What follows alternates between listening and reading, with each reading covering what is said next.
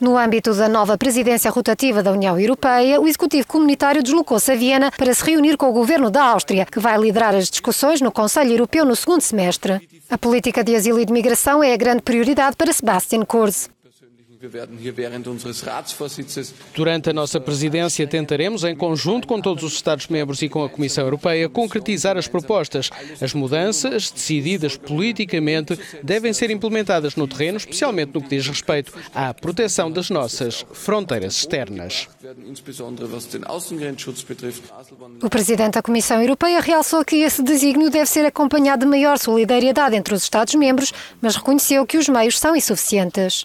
Jean-Claude Juncker afirmou. Neste momento temos 1.340 funcionários alfandegários que estão a proteger as nossas fronteiras externas. Isso não é algo que se possa classificar como uma frente de reação complexa, fruto de muito empenho. A Comissão Europeia e o governo austríaco parecem estar em sintonia sobre a migração. Jean-Claude Juncker anunciou que apresentará em setembro um plano coerente para proteger as fronteiras externas da União Europeia.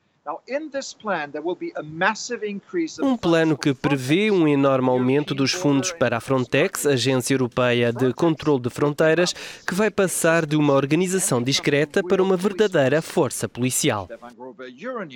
Vienna.